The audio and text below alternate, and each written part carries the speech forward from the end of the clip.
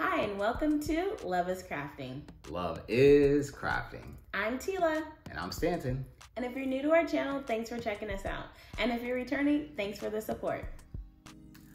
What we do here on this channel, we take you through crafting and DIY projects that are real, but not necessarily perfect because love, love isn't perfect. perfect.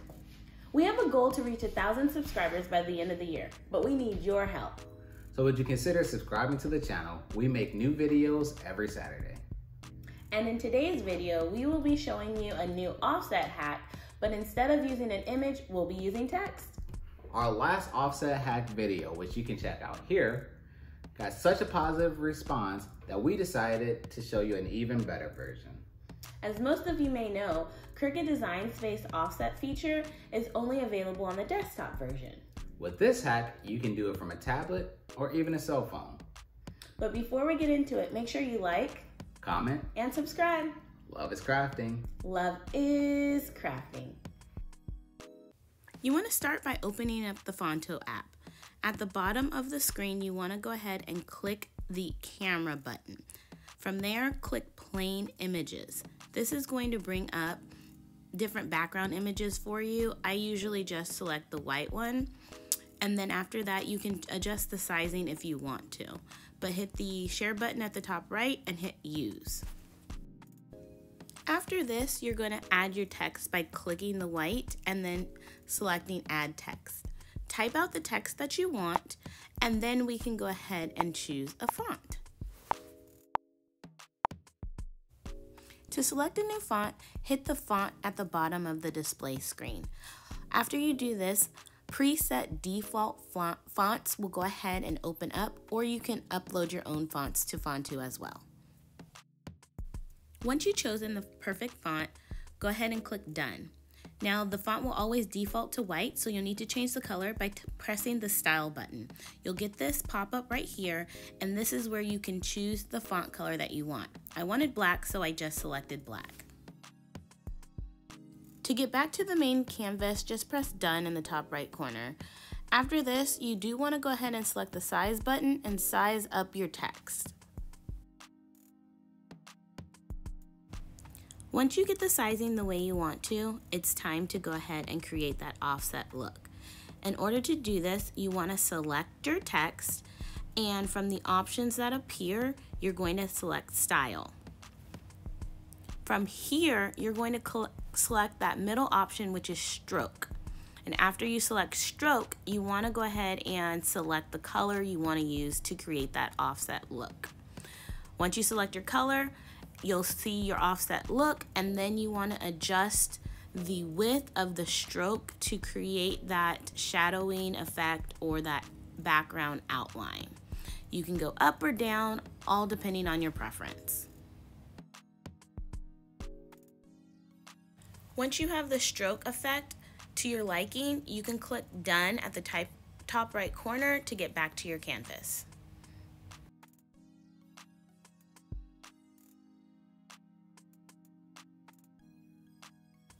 That completes the first half of this hack. Now you want to add a new text, just like we did before, select your text, which is going to match the same thing that you just did because that first part we did was creating the background image and then this next part is going to be creating the text.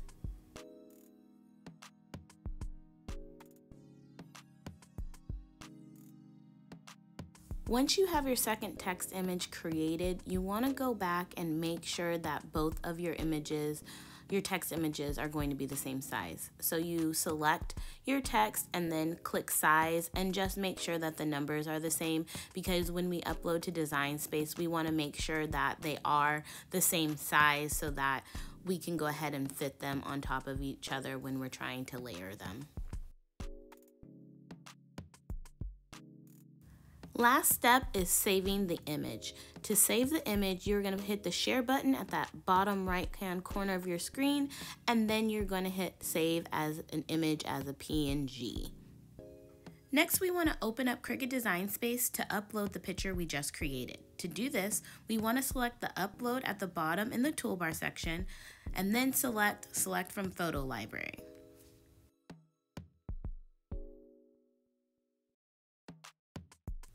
Select the image that we just created so that we can clean up the background. There's not going to be much cleanup to do here. Um, you're just going to get rid of the background and the space in between the letters.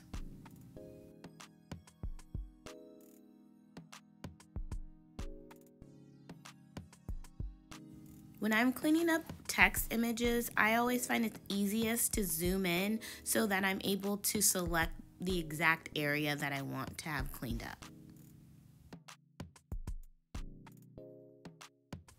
Don't worry if your colors look a little bit off with that stroke effect. You don't have to worry about it because you're gonna cut it out on whatever color you want. So this will be a cut image and not a print and cut image. So don't worry about the colors being a little bit off. If you want it as a print and cut, you wanna go ahead and actually upload this up on a desktop computer because then you can select complex image and your colors will come out much closer.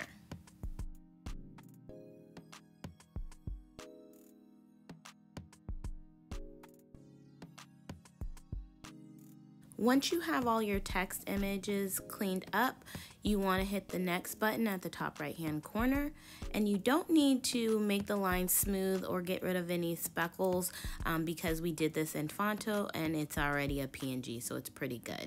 Hit next again and then name your your image name your image and again for me I'm doing this as a cut image so um, I selected cut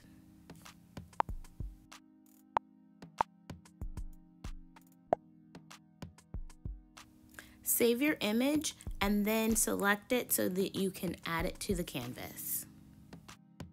Now that you have it added to the canvas, you want to go ahead and slice up your image so that it's two different parts and you can layer them on top of each other.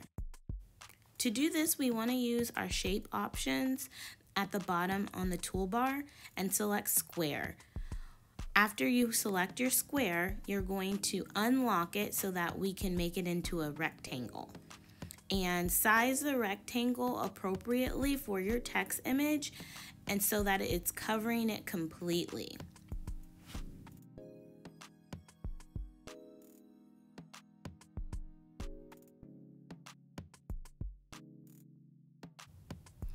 Once you get your rectangle sized appropriately and covering your text, you want to go ahead and select both images, your rectangle and your text image, and then you want to select from the Actions um, tab in the toolbar, Slice.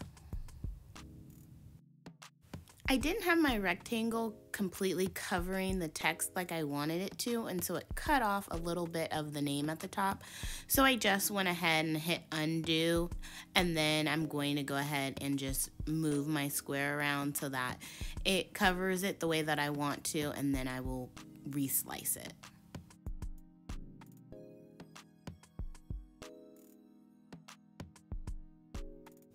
I wanted to make sure that I wasn't going to make the same mistake again. So what I did is I sent the rectangle to the back so I can see exactly where my text was and so I wouldn't cut it off again.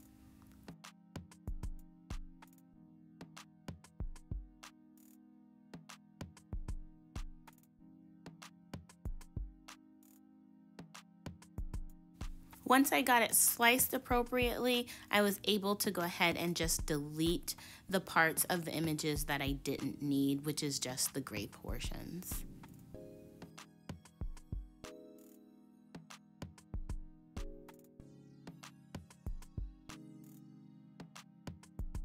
Now that we're done slicing our image, we have our two pieces to create our offset text. From here, just for visual purposes, I did select the edit in the toolbar and I change the color so that I can layer them and see what it'll look like when I cut it out in vinyl. Lastly, I need to just layer my two images. Um, remember, if something is in the back, you just move it to the front by selecting the edit in the toolbar and then changing it, selecting arrange and then send to the back or send to the front and then you can just layer your two objects the way that you want to get that perfect offset.